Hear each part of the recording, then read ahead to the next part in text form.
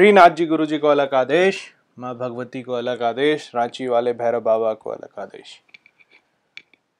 आज का वीडियो आप लोगों के लिए महत्वपूर्ण होने वाला है, क्योंकि मैं बताऊँगा कि आप अगर तंत्र साधक हैं या साधना करना चाहते हैं या पूजा पाठ करते हैं तो कौन सा रुद्राक्ष आपको धारण करना चाहिए?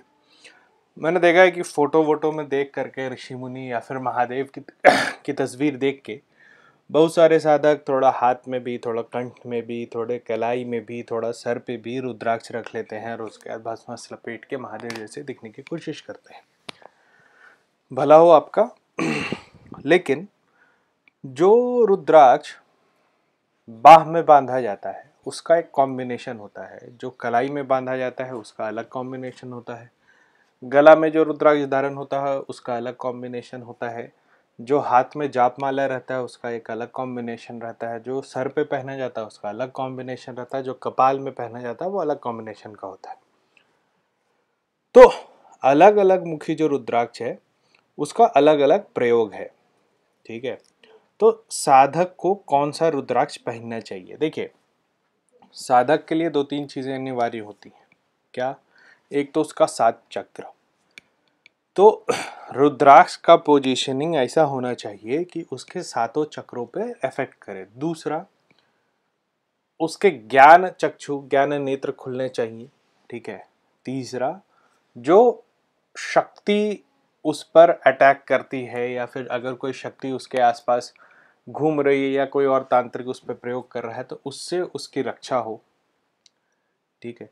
तो ये दो तीन तरी, चीज़ें हैं जिससे कि आपको रुद्राक्ष बचाता है। देखिए, और किसी भी तरीके का बंधन कर लो, लेकिन कभी हो सकता है कि 24 घंटे में एक मिनट के लिए आप एक्टिव ना हो या फिर आप कॉन्शियसली इस चीज़ को ना ध्यान कर रहे हो कि कुछ है आपके आसपास, या ऐसा होगी एक पल के लिए आपका जो बंधन किया हुआ है वो खुल जाए, टूट जाए, कुछ भी हो जाए तो ऐसी स्थिति में जो है रुद्राक्ष जब आपके पास भी रहता है तो वो आपकी रक्षा करता है। तो शुरू करते हैं कि कौन कौन सा रुद्राक्ष पहनना चाहिए, ठीक है? देखिए, अगर आपको साधना करना है तो आपको बहुत विचित्र विचित्र जैसे कि शिखा में एक रुद्राक्ष आपको रखना चाहिए। शिखा में जो आपकी चोटी है, उसमें बाँध कर एक रुद्राक्ष रखना चाहिए। दूसरा, जब आप ध्यान कर रहे हो या फिर पूजा कर रहे हो तो आपको त्रिनेत्र पर एक रुद्राक्ष बाँध के रखना चाहिए, ठीक?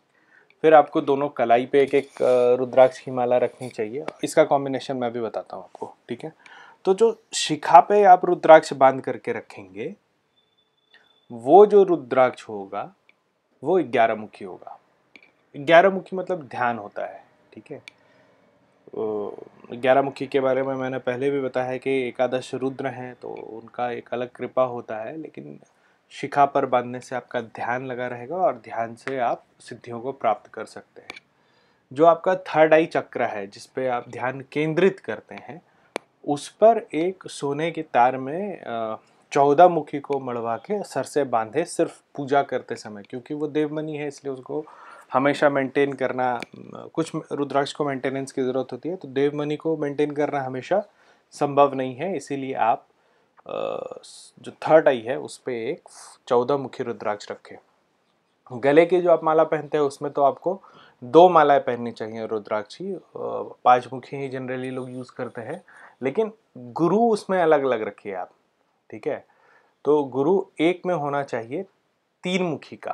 तीन मुखी यानी सिद्धिदात्री, सिद्धि देने वाला वाला रुद्राक्ष है। तो अगर आप साधनाएँ कर रहे हैं, सिद्धि कर रहे हैं तो आपके पास एक तीन मुखी रुद्राक्ष होना चाहिए और दूसरा जो है वो तेरह मुखी होना चाहिए, जो कि आपके तंत्र कौशल को फैलाता है। देखिए, मंदिर का प्रभाव घर के मंदिर से ज़्यादा क्यों होता है? क्योंकि वहाँ भक्त ज़्यादा आते हैं, वहाँ विश्वास ज़्यादा होता है। ठीक है तो जब तक आपके पास लोग नहीं आते हैं, तब तक तंत्र, देखिए, मैं साधना की बात नहीं कर रहा, मैं तंत्र की बात कर रहा हूँ। आपका तंत्र उतना ही काम करेगा जितना आप उसको प्रैक्टिस करोगे। और प्रैक्टिस करोगे जब आपकी महिमा मंडन होगी। तो आप तेरह मुखी एक, दूसरी माला में पहने। एक चीज़ आप और कर सकते हैं। ये 108 छोटा दाना होना चाहिए जो कंठ से लगा रहे। और एक होना चाहिए 108 इंटू एक सौ आठ मतलब दो दो सौ सोलह दाना का और उसमें आप तेरह मुखी लगा के रखें। या ये दो माला आप रुद्राक्ष के अलग से पहने और एक अलग से माला पहने जिसमें कि एक तीन मुखी, एक तेरह मुखी और एक शिवलिंग हो काला वाला।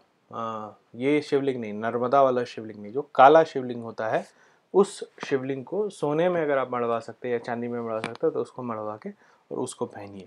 तो ये बड़ा उत्तम होता है। अब आते हैं हाथों पे, ठीक है? तो हाथ में आपको ग्यारह रुद्राक्ष की माला होनी चाहिए राइट कलाई में और उतनी, और बारह होनी चाहिए लेफ़्ट कलाई में, ठीक है? तो कलाई में आप, ऐसे तो पाँच मुखी पहन सकते हैं, लेकिन अगर आप अपना व्यापार को बढ़ाना चाहते हैं तो सात आठ उसमें कॉम्बिनेशन डाल लीजिए। तो वो काफ़ी है। अच्छा अब आइए बाजू बन पर ये बड़ा इंपॉर्टेंट होता है हम लोगों में, क्योंकि अपने साधकों में ये एक ट्रेंड है कि पाँच मुखी स्पेटिक का माला या पाँच मुखी और मुंगे का कॉम्बिनेशन लगा के वो सुरक्षा के दृष्टिकोण से मानता है। ठीक है, ये रुद्राक्ष खुद में सुरक्षा देता है, लेकिन इसमें कुछ और चीज़ें हम लोगों को करनी पड़ेंगी। क्या करनी पड़ेंगी? तो जो राइट में आप पहनते हैं, उसको सरस्वती तंत्र बनाते हैं, ठीक है? तो सरस्वती तंत्र कैसे बनता है? तो एक चार मुखी बीच में एक छः मुखी फिर चार मुखी उसके बाद आप इसमें तेरह पाँच मुखी रुद्राक्ष लगाएँगे मिला करके और तब इसको बांधेंगे। तो टोटल आपके हाथ में सोलह बाजू में आपके सोलह रुद्राक्ष होगा, जिसमें एक चार, बीच में छः और फिर एक चार रहेगा और उसको दोनों तरफ़ से घेरे रहेंगे। टोटल मिला करके ये रुद्राक्ष की संख्या सोलह होनी चाहिए। ठीक है? तो ये सरस्वती बंद हो गया तो सरस्वती बाकी आपको कृपा आने लगेगी साधना में। ठीक है? दूसरा जो लेफ़्ट हैंड में हम रुद्राक्ष पहनते हैं वो उसका कॉम्बिनेशन होगा नौ दस ग्यारह का माँ भगवती का आ, दस विष्णु का और ग्यारह एकादश रुद्र का। तो ये जो होता है ये शक्ति बंद होता है। तो किसी भी तरीके का आप पे शक्ति का अटैक हो, किसी भी तरीके का एनर्जी का अटैक हो तो ये रुद्राक्ष बचाता है। तो नौ, दस, ग्यारह पहन लिया। उसमें दोनों तरफ़ आप फिर से तेरह दाने पाँच मुखी रुद्राक्ष के लगाइएगा तो उसके, ये टोटल इसकी संख्या सोलह होनी चाहिए। तो सोलह, दोनों हाथों में सोलह राइट हैंड की कलाई में ग्यारह और लेफ़्ट हैंड की कलाई में आपके पास रुद्राक्ष होना चाहिए बारह। कलाई में अंतर है, ठीक है? तो ये हुआ रुद्राक्ष जो कि साधकों को पहनना चाहिए। इसके अलावा आप लोग एक चांदी का कड़ा राइट हैंड में पहने, इससे बहुत ज़्यादा लाभ होता है। चांदी भी शिव का ही अंश माना जाता है। आज के लिए इतना ही। आप लोगों को अगर कोई और जानकारी चाहिए तो आप मेरी किताब पढ़ें handbook for paranormal investigator ये के ऊपर है किताब। इसके अलावा आप ask me for app download करें, उसमें रुद्रनाथ सर्च करिएगा तो आप मुझसे डायरेक्ट फ़ोन पे बात कर सकते हैं।